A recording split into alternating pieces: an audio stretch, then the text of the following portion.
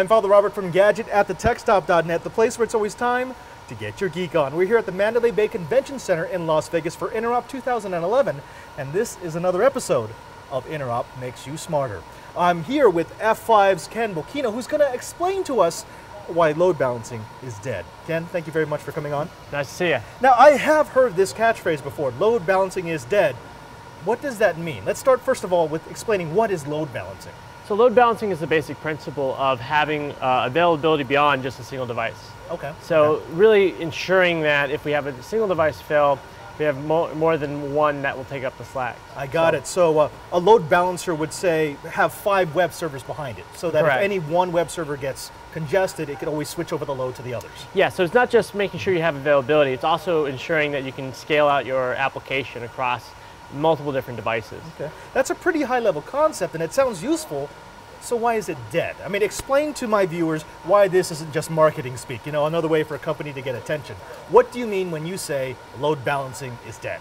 So what we're actually doing is we're getting more intelligent into the application itself. So we're doing application delivery. Okay. So no longer are we just simply taking a port and load balancing it between multiple different servers. We're getting more intelligent with the application. We're understanding the application design and principles.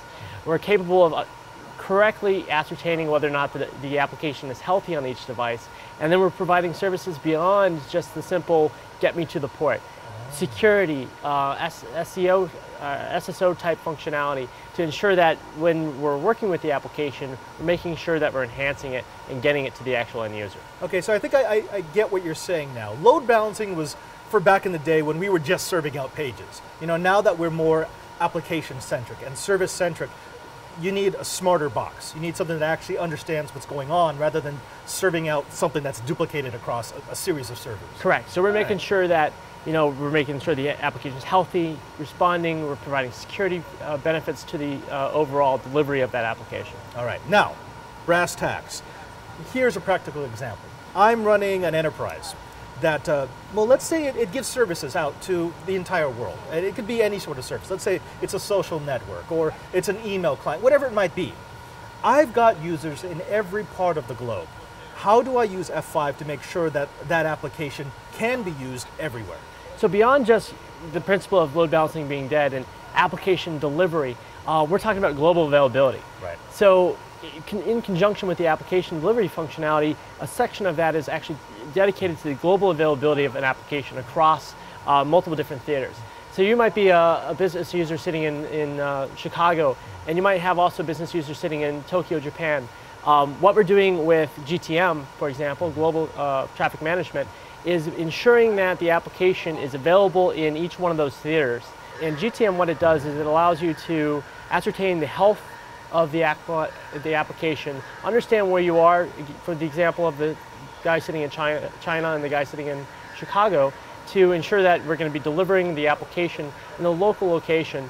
So when we're talking global availability, we're ensuring that when you are coming from China or you are coming from Chicago or any other location in the globe, we can make an intelligent decision to say, right.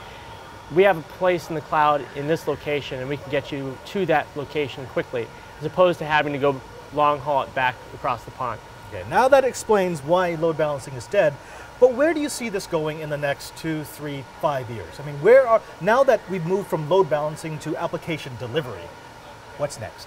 So I think we're going to actually start seeing more and more applications tie into the application delivery network. You're seeing it right now with cloud networks.